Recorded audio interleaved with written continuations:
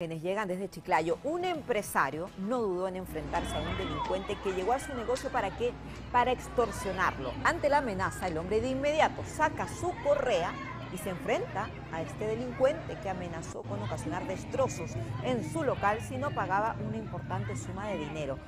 En un primer momento, el ampón defenderse, sin embargo, los correazos propinados por el propietario de una óptica fueron más fuertes y hicieron retroceder a este criminal que habría solicitado dinero a todos los comerciantes de la zona por esta supuesta seguridad.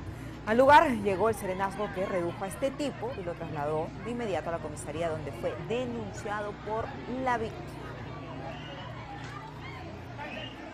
Y recuerde que usted puede enviar sus denuncias a nuestro WhatsApp de 24 horas, edición del mediodía. Escríbanos al 98 95 98 481, porque tu denuncia sí importa. En Lima y en todas las regiones del país aquí será bienvenida. Queremos ser su voz. Personal de la